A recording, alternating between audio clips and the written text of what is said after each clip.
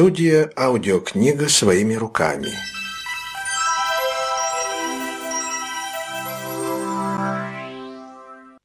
Предлагаем вашему вниманию рассказы Рэя Брэдбери.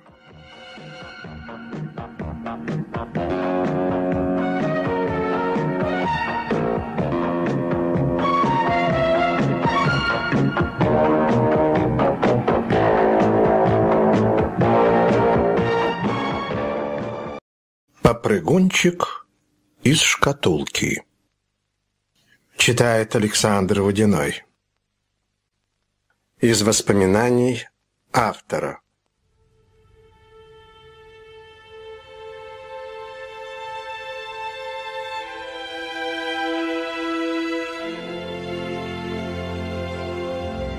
В основе этого рассказа лежит впечатление из жизни. Тот дом, по правую сторону от оврага на Вашингтон-стрит в Окигане. Каждый день по дороге в школу я проходил мимо его заднего фасада, полускрытого деревьями, и гадал, кто там живет, что за странную жизнь ведут его обитатели, и есть ли там дети. Они не попадались мне ни разу. Однако я ходил мимо, в школу одной дорогой и школы другой. По дну оврага глядел наверх, и там был этот дом. И у меня разыгрывалось воображение.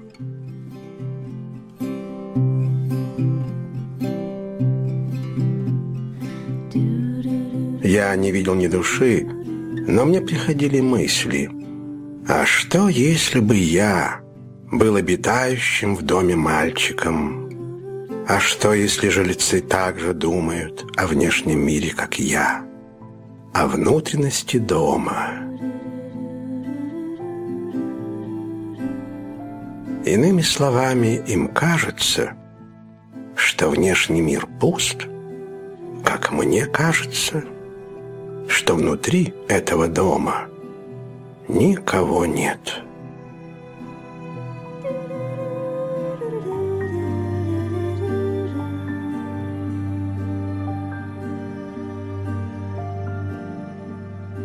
Он выглянул в окно, сжимая шкатулку в руках.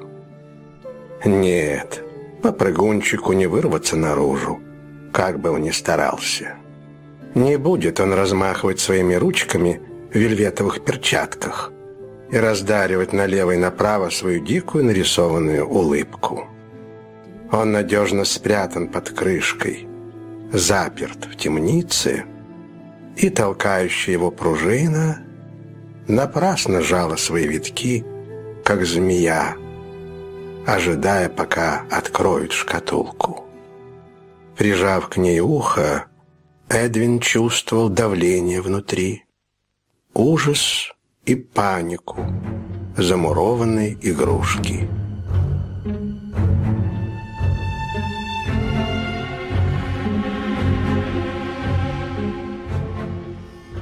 Это было то же самое, что держать в руках чужое сердце. Эдвин не мог сказать, пульсировала ли шкатулка, или его собственная кровь стучала по крышке этой игрушки, в которой что-то сломалось. Он бросил шкатулку на пол и выглянул в окно. Снаружи деревья окружали дом, в котором жил Эдвин. Что там, за деревьями, он не знал. Если он пытался рассмотреть мир – который был за ними. Деревья дружно сплетались на ветру своими ветвями и преграждали путь его любопытному взгляду.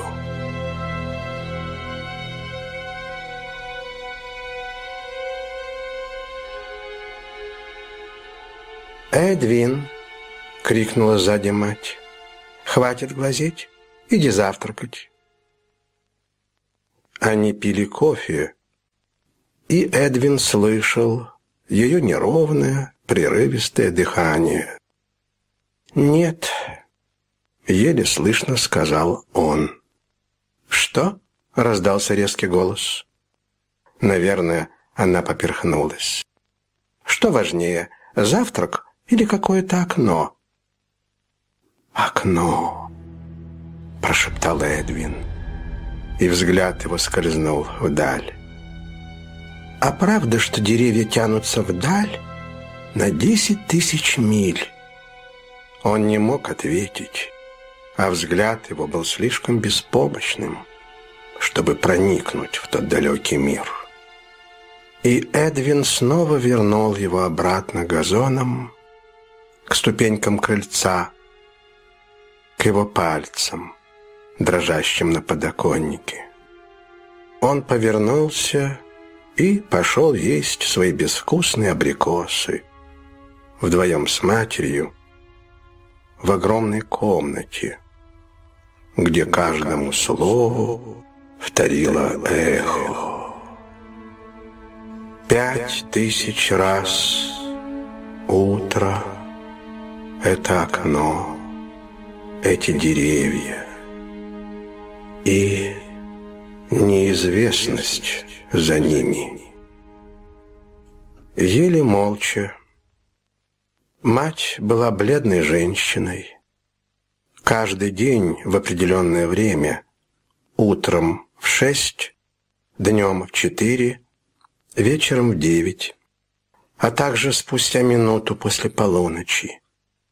Она подходила к узорчатому стеклу окошка башенки на четвертом этаже старого загородного дома и замирала там на мгновение, высокая, бледная и спокойная.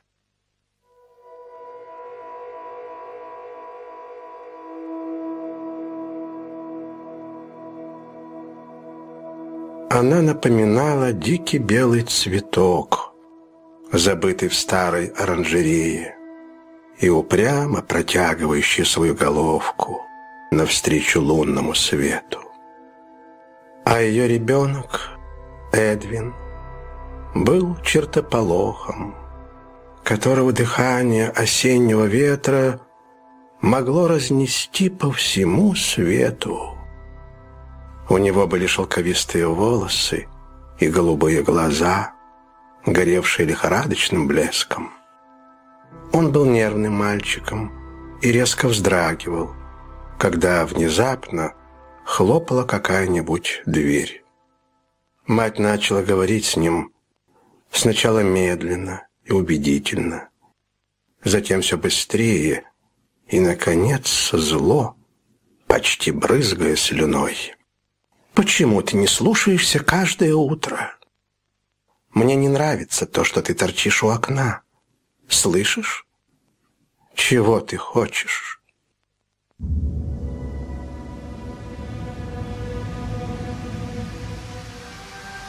«Увидеть их!» — кричала она, и пальцы ее подергивались. Сейчас она была похожа на белый ядовитый цветок. «Хочешь увидеть чудовищ?» которые бегают по дорогам и поедают людей, как клубнику. «Да, да», — подумал он, — «я хочу увидеть чудовищ. Я хочу увидеть чудовищ, такими страшными, как они есть». «Ты хочешь выйти туда?» — кричала она. «Как и твой отец, до того, как ты родился» и быть убитым, и быть убитым ими, как он. Этого ты хочешь? Нет, нет, нет, нет. Разве недостаточно, что они убили его? Зачем тебе думать об этих чудовищах? Она махнула рукой в сторону леса. Но но если ты хочешь... Но если ты так хочешь умереть, то ступай поступай. Она успокоилась. Но ее пальцы все еще нервно сжимались и разжимались на скатерти. Эдвин, Эдвин, твой отец создавал каждую частичку этого мира. Он был прекрасен для него. А значит, должен быть прекрасен и для тебя тоже. За этими деревьями нет ничего, ничего, кроме смерти. Я не хочу, чтобы ты приближался к ним. Твой мир, твой мир здесь, здесь. И ни о чем другом не надо думать. Он кивнул с несчастным видом. А теперь улыбнись и кончай свой завтрак, сказала она. Он медленно ел, и окно незаметно отражалось в его серебряной ложечке. «Мама!» — начал он медленно и несмело. «А что такое умереть?» «Ты все время об этом говоришь. Это такое чувство?» Для тех, кто потом остается жить, это плохое чувство. Она внезапно поднялась. «Ты опоздаешь на уроки. Беги». Он поцеловал ее и схватил учебники. «Пока». «Привет, учительница».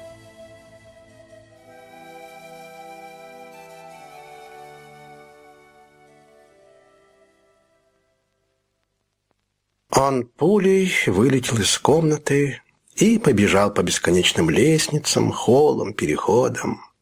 Все вверх и вверх, через миры, лежащие, как листы в слоенном пироге с прослойками из восточных ковров между ними. В самой верхней ступеньки он взглянул вниз, в лестничный пролет на четыре мира Вселенной. Неизменность. Кухня, столовая, гостиная. Две возвышенности. Музыка, игры, рисование и запертые запретные комнаты. И здесь он обернулся. Высокогорье удовольствий, приключений и учебы. Здесь он любил болтаться, бездельничать или сесть где-нибудь в уголке, напевая детские песенки. Итак, это называлось Вселенной.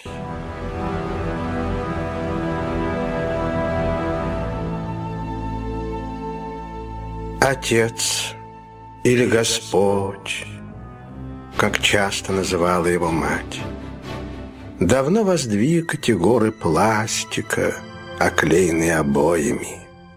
Это было создание Творца, в котором матери отводилась роль солнца. Вокруг нее должны были вращаться миры. А Эдвин был маленьким метеором, кружившимся среди ковров и обоев, обвораживающих Вселенную. Иногда он и мать устраивали пикники здесь, на Высогорье. Расстилали бесконечные скатерти на коричневых плитах, а со старых портретов незнакомцы с желтыми лицами смотрели на их пир веселье. Они пили воду, прозрачную, холодную, из блестящих кранов, упрятанных в черепичных нишах. А потом со смехом и воплями, в какой-то буйной радости, били стаканы о пол. А еще они играли в прятки — и она находила его то завернутым, как мумия, в старую штору, то под чехлом какого-нибудь кресла, как диковинное растение, защищаемое от непогоды. Однажды он заблудился и долго плутал по каким-то пыльным переходам, пока мать не нашла его испуганного и плачущего, и не вернула в гостиную, где все такое родное и знакомое. Эдвин бегом поднялся по лестнице. Два длинных ряда дверей тянулись вдоль коридора. Все они были закрыты и заперты. С портретов Пикассо и Дали на Эдвина смотрели жуткие лица чудовищ. «Эти живут не здесь», — говорила мать, как-то рассказывая ему про портреты изображенных на них чудовищ. Сейчас, пробегая мимо, Эдвин показал им язык. Вдруг он остановился. Одна из запретных дверей была приоткрыта. Солнечный свет, вырывавшийся из нее, взволновал Эдвина. За дверью виднелась винтовая лестница, уходящая навстречу солнцу и неизвестности. Эдвин замер в нерешительности. Сколько раз он подходил к разным дверям, и всегда они были закрыты. А что, если распахнуть дверь и взобраться по этой лестнице на самый верх? Не ждет ли его там какое-нибудь чудовище? «Хеллоу! Хеллоу!» Его крик понесся по винтовой лестнице. «Хеллоу!» Лениво ответило эхо, все выше и выше и пропала. Он вошел в комнату. «Пожалуйста, не обижайте меня», – прошептал он, глядя вверх. Эдвин начал подниматься по лестнице, с каждым шагом ожидая заслуженной кары. Глаза у него были закрыты, как у кающегося грешника. Он шел все быстрее и быстрее. Винтовые перила, казалось, сами вели его. Неожиданно ступеньки кончились, и он оказался в открытой, залитой солнцем башенке. Эдвин открыл глаза и тут же зажмурился. Никогда-никогда он не видел еще так много солнца. Он ухватился за металлические перила и несколько мгновений стоял с закрытыми глазами под лучами утреннего солнца. Наконец он осмелился и осторожно открыл глаза. В первый раз он находился над лесным барьером, окружавшим дом со всех сторон. Сверху этот барьер – оказался не широкой полоской, а дальше, насколько хватало глаз, открывалась удивительная картина. Зеленая равнина, перерезанная серыми лентами, по которым ползли какие-то жуки, а другая половина мира была голубой и бесконечной. Вдали торчали какие-то предметы, похожие на пальцы. Но чудовищ, как у Пикассо и Дали, нигде не было видно. Затем Эдвин увидел красно-бело-голубые палатки, развивавшиеся на высоких шестах. Вдруг у него закружилась голова, он почувствовал себя больным, совсем больным. Ведь он прошел через запретную дверь, да еще поднялся по лестнице. Ты ослепнешь. Он прижал руки к глазам. Ты не должен был увидеть это. Не должен, не должен. Он упал на колени, распростерся на полу, сжавшись в комочек. Еще мгновение, и слепота поразит его. Пять минут спустя он стоял у окна на высокогорье и наблюдал знакомую картину. Он снова видел орешник, вязь, каменную стену и этот лес, который он считал бесконечной стеной, из-за которой ничего не должно быть, кроме кошмара, небытия, тумана, дождя и вечной ночи. Теперь он точно знал, что Вселенная не кончается этим миром низменности и возвышенностей. Он снова потрогал ручку запретной двери. Заперто. А правда ли, что он поднимался наверх? Уж не пригрезился ли ему этот бесконечный полузеленый, полуголубой мир? Эдвин затрепетал. Господь, владевший этим чудесным миром. Может быть, он и сейчас глядит на него.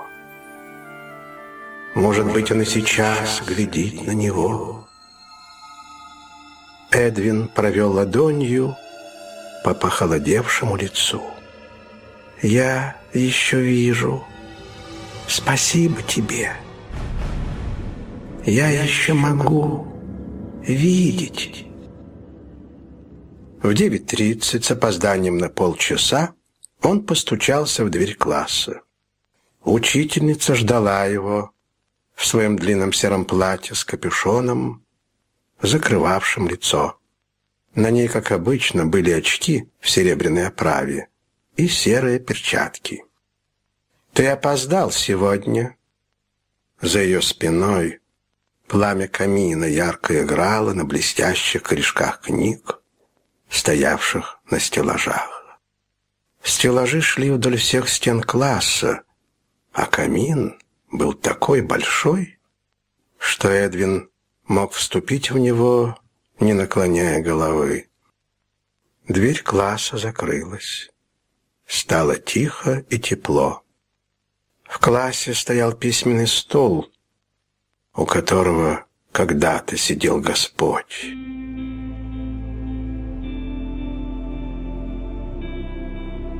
Он ходил по этому ковру, набивая свою трубку дорогим табаком, хмуро выглядывал из этого огромного окна с цветными стеклами. В комнате еще носили запахи табака, каучука, кожи и серебряных монет. Здесь голос учительницы звучал медленно и торжественно – когда она рассказывала о Господе, о старых временах, когда мир еще создавался волей и трудом Господа.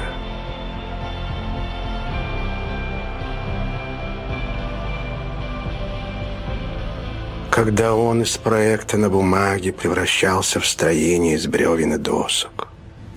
Отпечатки пальцев Господа еще сохранились на нескольких отточенных карандашах, которые лежат в коробке, закрытой стеклом. Их нельзя трогать, можно только смотреть, пока отпечатки не исчезнут, как растаявшие снежинки. Здесь, в этом классе, мягко льющийся голос учительницы рассказывал Эдвину что ожидается от него и его тела. Он должен расти и унаследовать черты, запахи, голос Господа. Когда-нибудь он сам станет Господом, и ничто не должно помешать этому. Ни небо, ни деревья, ни то, что находится за деревьями. Он задумался, и очертания учительницы расплылись у него перед глазами. «Почему ты опоздал, Эдвин?» «Я не знаю. Я тебя еще раз спрашиваю. Почему ты опоздал?» Одна из дверей, запертых, была открыта. Он увидел, что учительница вздрогнула. опускаясь в большое кресло с подлокотниками. Его голос стал каким-то подавленным. Точно такой же был однажды у него самого, когда он плакал, испугавшись ночного кошмара. «Какая дверь? Где? Она же должна быть заперта». «Дверь около портретов? Дали Пикассо», — сказал он в страхе. «Они с учительницей всегда были друзьями. Неужели все кончилось?» Он все испортил. Я поднимался по лестнице. Я должен был. Я поднимался, Я поднимался по, лестнице. по лестнице. Я, Я должен, должен был. Должен. должен. Простите меня. Простите. Не говорите, пожалуйста, маме. Она растерянно посмотрела на него. В стеклах ее очков поблескивали языки пламени от камина. «И что же ты там видел?» – пробормотала она. «Большое голубое пространство. А еще, а еще? зеленое и даже какие-то ленты, и по ним ползут жуки. Но я был там совсем недолго, клянусь вам, клянусь». Зеленое пространство, да ленты и маленькие жуки. От ее голоса стало еще страшнее. Он шагнул к ней и хотел взять ее за руку. Но она отняла руку и подняла ее к своей груди. Я сразу спустился. Я закрыл дверь. Я больше не буду. Я больше, Я больше не буду. буду. Никогда, никогда. никогда. Отчаянно плакал он. Его голос был таким тихим, что он едва мог разобрать слова. «Но, Но ты уже видел, видел и захочешь увидеть еще, и теперь всегда будешь интересоваться этим». Она раскачивалась взад-вперед. Внезапно она повернула к нему свое лицо а какое оно то, что ты видел? О, оно очень большое. Я очень испугался. Да-да, большое, огромное, Эдвин. И также похоже на наш мир. Большое, огромное, неопределенное. О, зачем ты это сделал? Ты же знаешь, что это плохо. Воцарилась тишина, прерываемая потрескиванием дров в камине. Она ждала его ответа, и так как он молчал, проговорила, едва двигая губами. «Это все из-за матери?» «Я не знаю». Она все время кричит, ворчит на тебя. Ничего не позволяет. А тебе хочется побыть одному. Да? Ну скажи мне. Да. Да, закричал он, захлебываясь от рыданий. И ты убежал, потому что она захватила все твое время, все твои мысли. Ну скажи, ведь так... Ее голос был печальным, растерянным. Он вытирал кулачками слезы. Да, да. Он кусал себя за пальцы, за руки. Да, да. Это было нехорошо, признавать такие вещи. Но сейчас ему не нужно было их говорить. Она сама все сказала и ему оставалось только соглашаться, кивать головой и громко всхлипывать. Учительница как-то сразу постарела и сгорбилась. Она медленно поднялась, подошла к столу и что-то написала на листке бумаги. «Передай это матери. Здесь сказано, что у тебя каждый день должно быть два свободных часа. Проводи их где хочешь, но только не снаружи. Ты меня слышишь? Он вытер лицо. Но... Что? А мама обманывала меня о том, что происходит снаружи, и об этих чудовищах. «Посмотри на меня», — сказала она. «Я твой друг, и никогда тебя не била, как это иногда приходится делать твоей матери. Мы обе здесь для того, чтобы помочь тебе во всем разобраться и вырастить тебя так, чтобы с тобой не случилось того же, что с Господом. Она поднялась и нечаянно оказалась ярко освещенной пламенем из камина. На лице ее прорезались мелкие морщины. Эдвин замер. «Огонь! Огонь!» – прошептал он. Учительница неловко отвернулась. «Огонь!» Эдвин перевел взгляд с пламени на ее лицо, которое уже исчезло в складках капюшона. «Ваше лицо!» — глухо сказал Эдвин. «Вы так похожи на мою маму!» Она быстро повернулась к книгам и сняла одну с полки.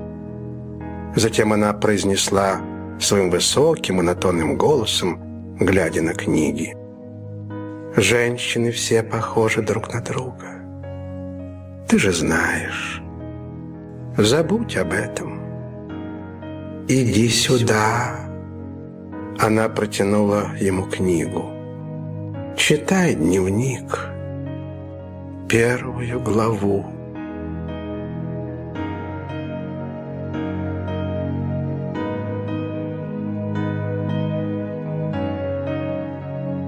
Эдвин взял книгу и даже не почувствовал ее веса. Языки пламени вспыхивали и исчезали в дымоходе. Эдвин начал читать, а учительница откинулась назад, удобно устроившись в кресле. И чем дальше он читал, тем спокойнее становилось ее лицо. Она начала кивать в такт его чтению, и ее голова в капюшоне напоминала торжественно раскачивающийся язык колокола. Эдвин машинально читал и думал о книгах, стоявших на стеллажах. Некоторые страницы были на них вырезаны, некоторые зачеркнуты. Некоторые книги были совсем заклеены, а другие были плотно перевязаны клейкой лентой и стояли, как собаки в намордниках. «Почему?» — думал Эдвин, продолжая читать. Вначале был Бог. Он создал Вселенную и миры во Вселенной, континенты в мирах и земли на континентах. Он своим умом и своими руками – создал свою любимую жену и ребенка, который со временем сам станет Богом. Учительница медленно кивала. Огонь засыпал на багровых углях. Эдвин продолжал читать.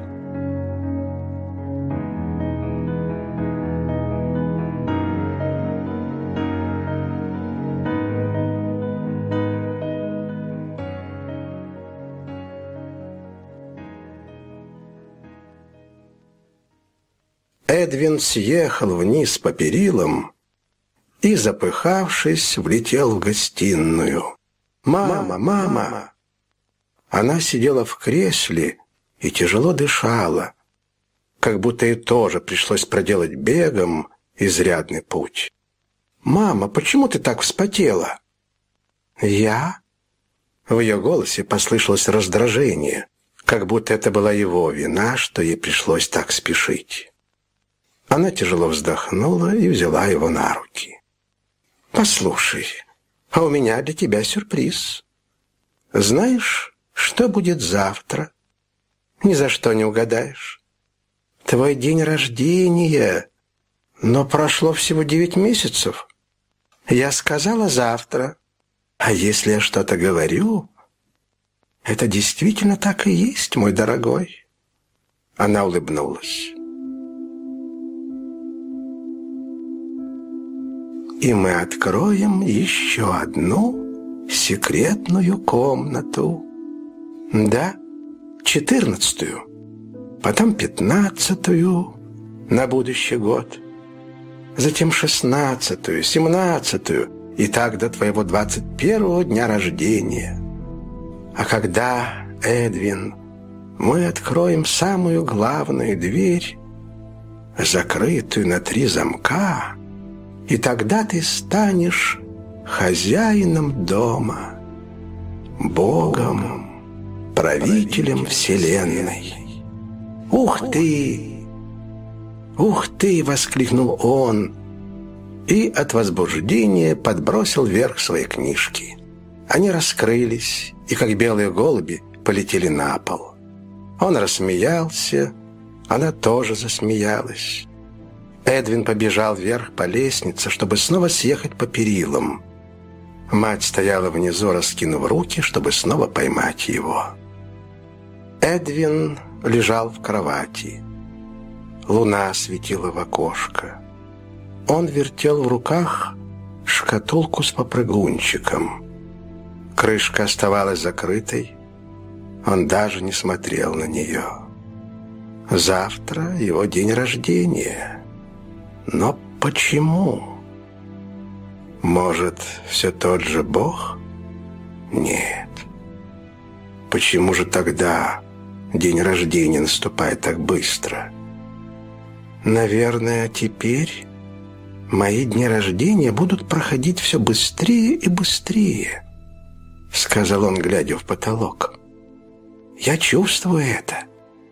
Мама смеется так громко и глаза у нее какие-то необычные. А учительницу пригласить на праздник? Они с мамой никогда не встречаются. А почему? Потому, отвечает мама. А вы не хотели бы встретиться с моей мамой? А? Учительница? Когда-нибудь. Вяло говорит учительница. А где учительница спит? Может, она поднимается вверх по всем этим секретным комнатам к самой луне? А может, уходит далеко-далеко за деревья, которые растут за деревьями. Нет, Вряд ли. Он повертел игрушку в потных ладонях. Как это называется, когда все как-то раздражает, и из-за ерунды хочется плакать? А, нервы. Да-да. Да-да. Ведь в прошлом году, когда у них с мамой что-то стало не так, она тоже ускорила его день рождения на несколько месяцев. А, о чем бы еще подумать? О Боге. Он сотворил холодный подвал, обожженный солнцем башенку и все чудеса между ними. И он погиб. Его погубили – те чудовищные жуки, которые ползают там, вдали, за стенами. О, сколько потерял мир с его гибелью! Эдвин поднес шкатулку к лицу и прошептал. «Эй, ты слышишь? Эй!»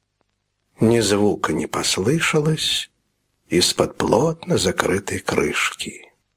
«Я тебя выпущу. Слышишь? Слышишь?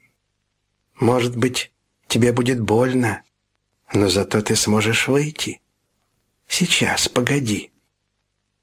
Он встал с кровати и на цыпочках подошел к окну, приоткрыв его.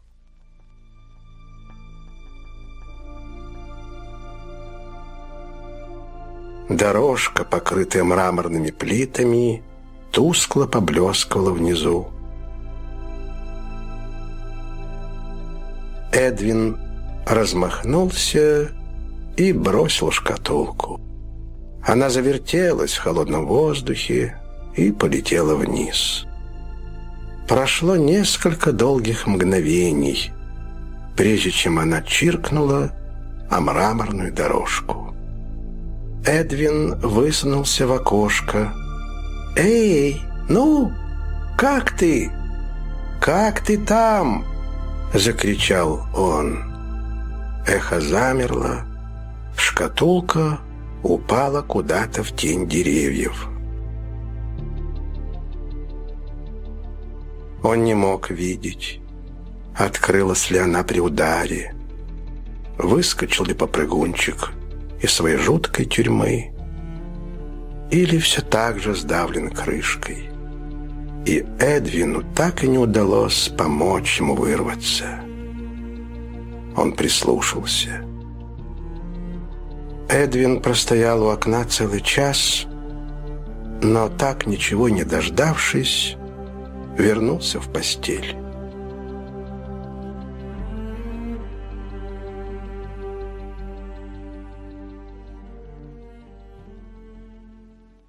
Утро.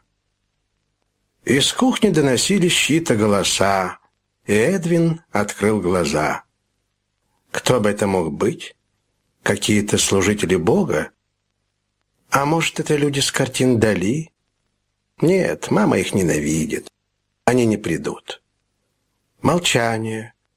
И вдруг снова эти голоса, слившиеся в единый громкий голос. «С днем рождения!» Потом они смеялись, плясали, ели поджаристые пирожки, лимонное мороженое, пили шипучий лимонад — и на именинном пироге со свечками Эдвин прочитал свое имя, написанное сахарной пудрой. Потом мать сидела за пианино и, аккомпанируя себе, пела смешные детские песенки. Потом они ели клубнику с сахаром, опять пили лимонад и опять хохотали так, что закачалась люстра. Потом появился серебристый ключик, и они побежали открывать, четырнадцатую запретную дверь. «Готово, смотри-ка!» Дверь скрипнула и уехала прямо в стену. «О!» — только и сказал Эдвин. К его разочарованию четырнадцатая комната оказалась всего лишь пыльным чуланом, стены которого были покрыты коричневым пластиком. Она не шла ни в какое сравнение с теми комнатами, что открывались его предыдущие дни рождения. На шестой год он получил класс, где теперь проходили уроки. На седьмой – комнату для игр. На восьмой – музыкальный салон. На девятый ему открылась чудесная комната-кухня, где горел настоящий огонь. На десятый год – была комната, где стоит фонограф, вызывающий голоса духов с черных дисков. На одиннадцатой большая комната, которая называется сад. Там лежит удивительный зеленый ковер, который не нужно подметать, а только стричь. «Не отчаивайся, иди-ка сюда», — сказала мать и втолкнула его в чулан, это волшебная комната. Сейчас увидишь. Ну-ка, закрой дверь. Она нажала какую-то кнопку на столе. «Не надо!» — закричал Эдвин, потому что чулан вдруг задрожал и начал ползти вверх. «Не бойся, малыш!» — сказала мать и взяла его за руку. Мимо них уходила вниз какая-то черная стена, в которой то и дело виднелись двери. Около одной из них чулан скрипнул и остановился. «Ну-ка, открой!» Эдвин осторожно открыл дверь. «Высокогорье! Это же высокогорье! Как мы попали сюда? Где же гостиная? Где гостиная, мама?» Она взъерошила ему волосы. «Я же сказала, что это волшебная комната. Мы прилетели сюда. Теперь раз в неделю ты будешь тоже летать в класс, вместо того, чтобы бегать по лестницам. Эдвин смущенно оглядывался по сторонам, не понимая, как все это произошло. Потом они блаженствовали в саду, растянувшись в густой траве, и потягивали яблочный напиток из большущих чашек. Мать несколько раз вздрагивала, услышав грохот выстрелов за лесом. Эдвин поцеловал ее в щеки. «Не бойся, я тебя защищу». «Я знаю, ты защитник», — сказала она. Но продолжала то и дело бросать взгляд в сторону деревьев, как бы опасаясь, что именно они являются источником хаоса, который все обратит в пыль. Когда солнце уже начинало клониться к закату, они увидели какую-то блестящую птицу с грохотом, пролетавшую высоко над деревьями. Втянув голову в плечи, они бросились домой, ожидая, что вслед за этим грохотом грянет буря. Раскаты этого близкого грома предвещали грозу, но птица скрылась, а за окном спокойно сгущались сумерки. Они еще немного посидели в гостиной. Мать задумчиво потягивала шампанское из высокого бокала. Затем она поцеловала Эдвина и отправила его спать. У себя в спальне он медленно раздевался и думал о том, какую комнату он получит через год, через два года. А на что похожи чудовища, монстры? Они убили Господа. Интересно, что такое смерть? Наверное, это такое чувство Наверное, она так понравилась Господу, что никогда не вернется. Может быть, смерть — это путешествие. Внизу раздался звон разбитого стекла. Наверное, мать уронила бутылку шампанского. Эдвин замер от того, что его поразила странная мысль.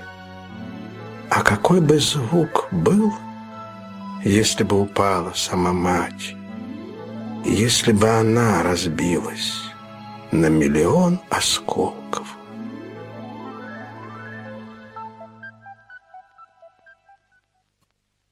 Проснувшись утром, он почувствовал странный запах. Так пахло вино. Эдвин потянулся в кровати. Он прекрасно себя чувствовал. Сегодня, как обычно, его ждет завтрак уроки, обед, занятия музыкой. Потом, потом час или два электрические игры. И, наконец, самое интересное – чай на мягкой зеленой траве. Вечером опять уроки.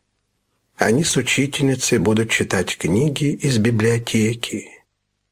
И он узнает что-нибудь новое – о том нездешнем мире, который скрыт от его глаз. Ой, он же забыл отдать матери записку учительницы. Нужно сейчас же сделать это. Эдвин быстро оделся и распахнул дверь. В доме стояла непривычная тишина.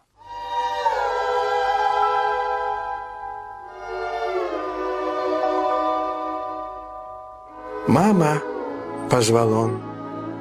Никто не ответил. «Мама!» — закричал он и бросился вниз.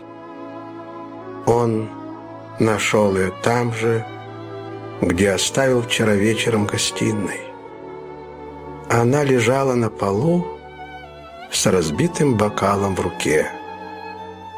Рядом валялась бутылка. Она была невредима, но все вино из нее вылилось, оставив на ковре ядовитое пятно. Мать была все в том же зеленом платье. Она, наверное, очень крепко спала и не слышала шагов Эдвина. Он подошел к столу. Стол был пуст. Это поразило Эдвина. Сколько он себя помнил. На этом столе по утрам его всегда ждал завтрак. Но сегодня его не было. Но сегодня его не было. «Мама, проснись!» Он обернулся к ней. «Где завтрак? Проснись!» «Мне идти на уроки!» Она не шевелилась. Эдвин бросился наверх.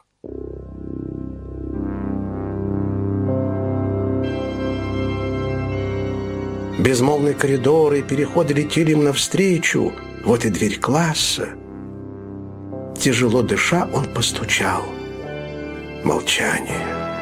Он стукнул сильнее, и дверь, жалобно скрипнув, приоткрылась.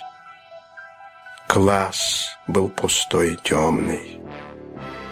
Веселый огонь не потрескивал в камине, разгоняя тени на потолке.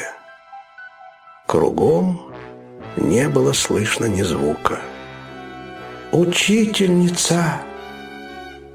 Он замер в центре безжизненной холодной комнаты. «Учительница!» Слабый луч света пробился через цветное стекло, когда он приподнял штору. Эдвин мысленно приказал этому лучу зажечь огонь в камине. Он зажмурился, чтобы дать время учительнице появиться. Затем он открыл глаза и замер, ошеломленный тем, что он увидел на ее столе. На аккуратно сложенном сером платье с капюшоном лежали ее очки и одна серая перчатка. Эдвин потрогал ее. Другой перчатки не было. Рядом лежал жирный косметический карандаш. Эдвин задумчиво провел им несколько линий на ладони. Повернувшись, он подошел к стене и потрогал ручку маленькой двери, которая всегда была закрыта.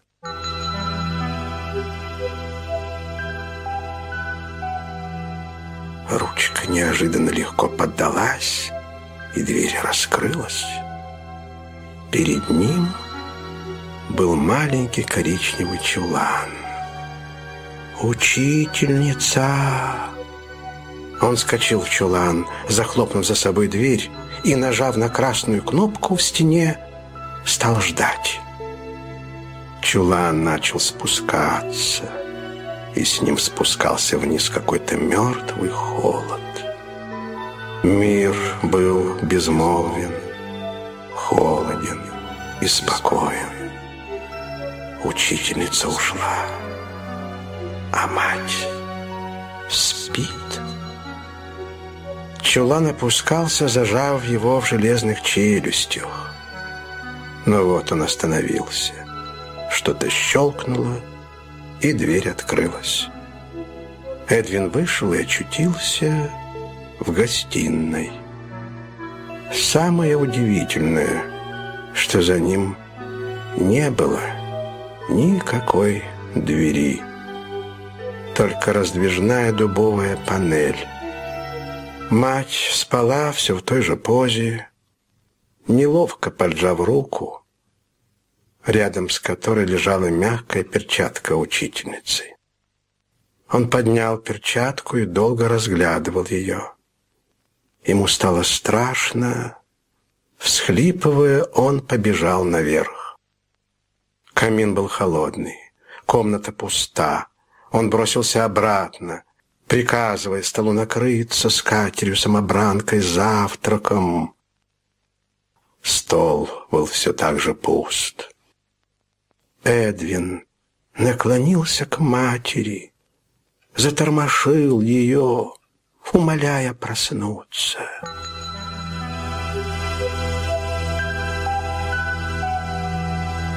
Ее руки были холодными. Мерно тикали часы. Пыль играла в лучах солнечного света. Наверное, она проходила через все миры, прежде чем осесть здесь, на ковре. Эдвин проголодался, а мать все не двигалась. Он подумал об учительнице. Если ее нет в доме, значит, она куда-то вышла и заблудилась. Только он может найти ее и привести, чтобы она разбудила мать. Иначе та вечно будет лежать здесь и постепенно покроется пылью. Эдвин прошел через кухню и вышел во двор.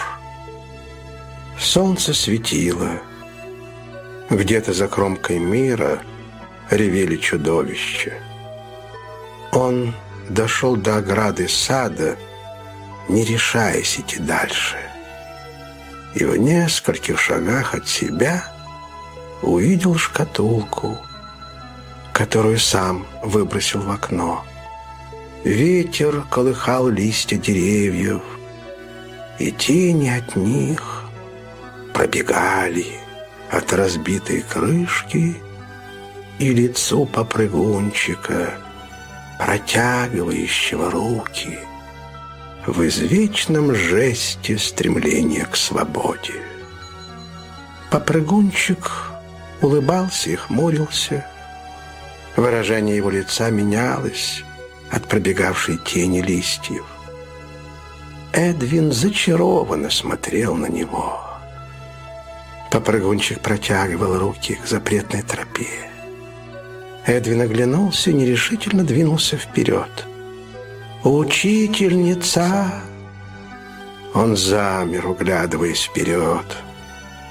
Деревья смыкали над тропой свои кроны, в которых шелестел ветер. «Учительница!» Эдвин шел вперед, медленно, но упрямо. Он обернулся. Позади лежал его привычный мир, окутанный безмолвием. Он уменьшался. Он был такой маленький. Как странно видеть его меньшим, чем он был всегда. Ведь он казался ему таким огромным. Эдвин почувствовал, как замерло у него сердце. Он шагнул обратно к дому, но испуганный его безмолвием. Повернулся и двинулся вперед по тропе. Все было таким новым. Запахи, цветы, очертания предметов — если я уйду за эти деревья, я умру, подумал он. Так говорила мать. Ты умрешь. Но что такое смерть? Но что такое смерть? Она так и не сказала. Другая комната. Голубая комната зеленая комната. Больше всех комнат, какие он видел. Но где же ключ? Там, впереди, большая железная клетка. Она приоткрыта. А за ней большущая комната с голубым небом и зеленой травой и деревьями. «О, мама!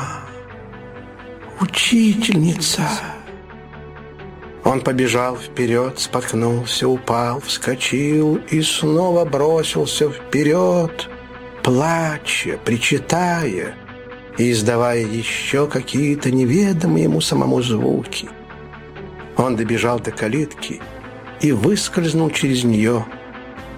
Вселенная сужалась за ним, но он даже не обернулся, чтобы проститься с ней. Он бежал вперед, а старые его миры уменьшались и исчезали.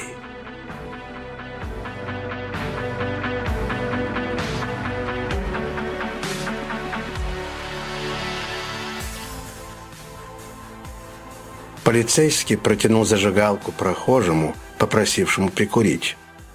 «Ах, уже эти мальчишки! Никогда их не поймешь!»